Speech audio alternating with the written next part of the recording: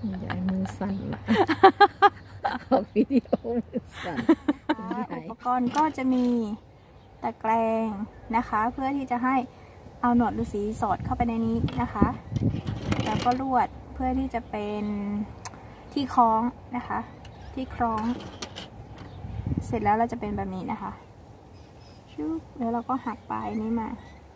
เอาไว้สำหรับเกี่ยวนะคะ แล้วก็เดี๋ยวเราจะอ่า ห้อยหนวดฤาษีตามช่องนี้นะคะ เพื่อที่จะให้เขาเกาะติด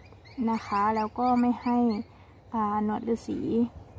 ติดกันทับกันจนเกินไปนะคะ จะทำให้หนวดฤาษีเน่าได้นะคะ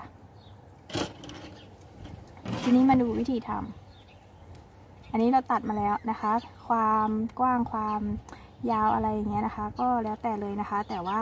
ที่นี่จะทำเป็นมุมสามเหลี่ยมนะคะ เราก็พับมันเข้ามานะคะเสร็จปึ๊บเราก็แบะออก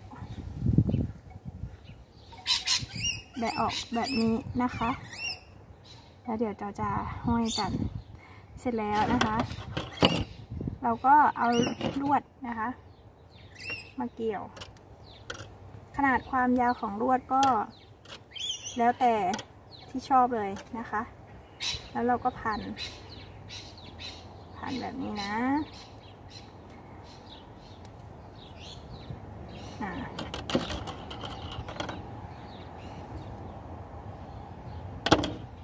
เสร็จแล้วเราก็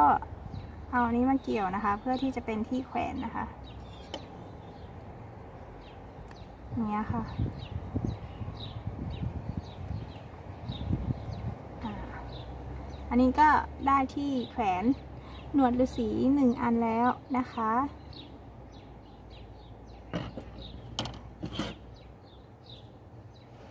มาดูวิธีร้อยหนวดฤาษีของคุณยาย คุณยายมือสั่นละออกวิดีโอมือสั่นคุณยายคุณยายต้องมี เปลี่ยนจากเส้นโคเชมาเป็นเส้นหนวดฤาษีใช้เข็มโคเชดึงเอานะ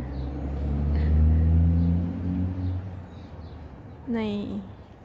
ละเอียดแค่ไหนนะคะ หนวดฤาษีของเราร้อย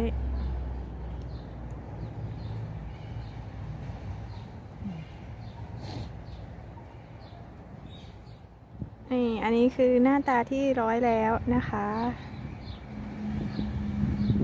นี่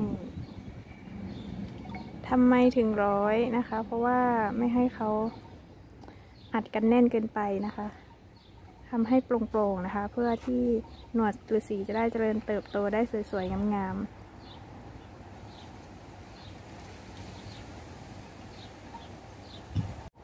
พามาดูดอก ดอกดอกของหนวดฤาษีนะคะ นี่ นี่เป็นดอกเล็กๆ นะคะ นี่คือดอกของหนวดฤาษีออกเยอะเลย นี่นี่ก็มี